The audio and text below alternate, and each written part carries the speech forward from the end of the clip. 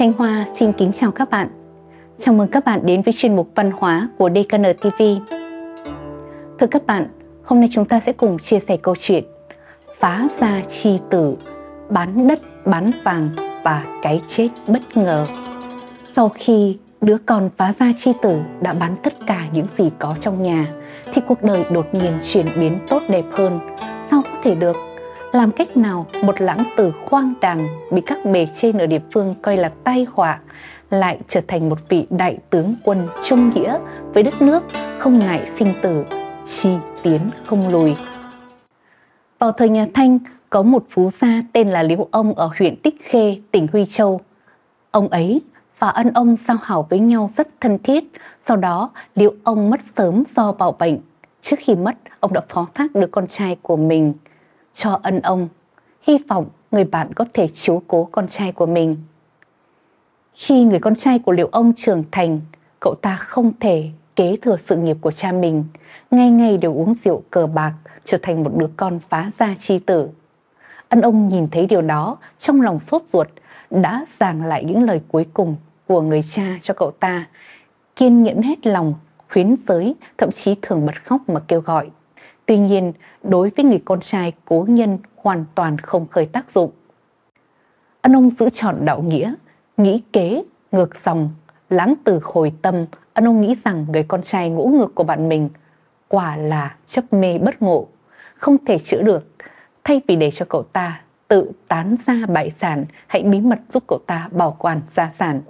Đợi đến ngày cậu ta sơn cùng thủy tận, hồi tâm chuyển ý mới trao lại gia sản cho cậu ta. Vì vậy, ông đã bí mật sai người nhà đánh bạc với cậu ta.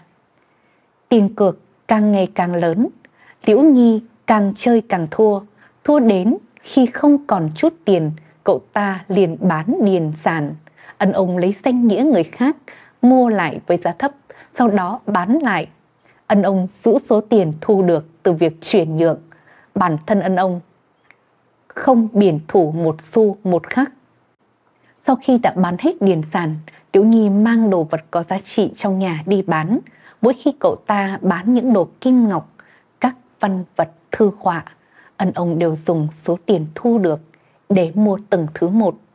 Vài năm sau, những cánh đồng màu mỡ và những kho báu quý giá của gia đình họ Liễu đã bị bán hết. Còn ân ông bảo quản tiền bạc, châu báu và ruộng đất của Liễu gia. Mặc dù con trai của Liễu ông không hề biết điều đó.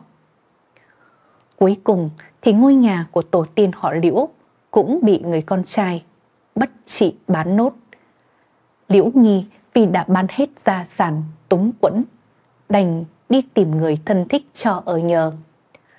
Cậu ta tay trắng, phải sống dựa vào bố thí của người khác, ăn thừa thức ăn của người khác, khiến cậu ta không thể chịu nổi khi nghĩ đến những ngày vinh hoa phú quý xưa cũ mình được tận hưởng. Vì vậy, cậu ta rời nhà lang thang đến các tự viện và đền miếu, nhưng không được dung nạp. Cuối cùng, cậu ta lưu lạc đến các chợ xin cơm, đem về làm đồng đội với những người ăn xin. Cuốn mình trong những con đường phong sương mưa gió. Lúc này, ân ông tìm thấy cậu ta, mời cậu ta về nhà, cho cậu ta tắm gội, thay y phục rách dưới và chiêu đãi cậu ta những bữa ăn ấm cúng. Đối mặt với cậu ta, ông nói, con còn nhớ cha con khi xưa đã nói gì với con không?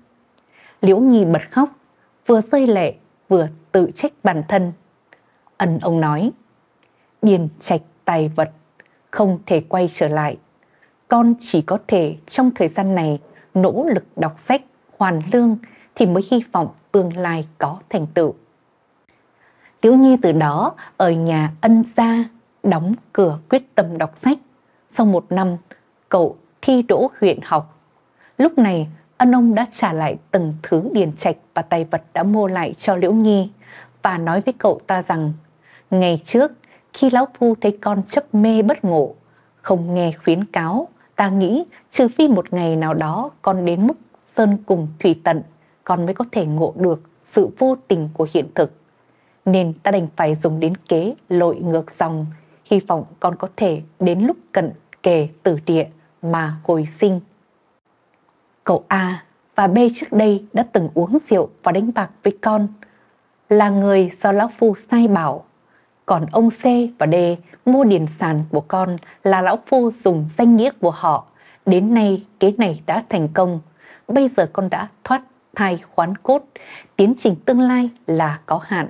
Mà lão phu giờ đã già rồi. Không bao lâu nữa sẽ đến thời điểm ta gặp lại cha con nơi cừu tuyền mà không phải khổ thẹn. Khi Liễu Nhi nghe xong, cảm kích tận đáy lòng, dập đầu quỳ lạy ân nhân. Tục ngữ có câu, mê nhi chi phản, đắc đạo bất viễn. Ý tứ là người trong mê lạc mà biết hồi quy, sớm sẽ đắc đạo chính là khắc họa về thời này. Kẻ mê lạc đã được quý nhân giúp đỡ mà vị quý nhân này chỉ vì một chữ nghĩa với người bạn cũ mà hao tận tâm lực, không cầu hồi báo. Khi những người hàng xóm biết chuyện đều khen ngợi hành vi cao thượng và nhìn xa trông rộng của ân ông. Điều mà người bình thường không thể làm được. Một nghĩa nhân như vậy là kết tinh hương sắc của văn hóa truyền thống Trung Hoa. Vâng, thưa các bạn, câu chuyện văn hóa của chúng tôi đến đây tạm dừng. Cảm ơn các bạn đã chú ý lắng nghe. Xin kính chào và hẹn gặp lại các bạn ở những chương trình tiếp theo.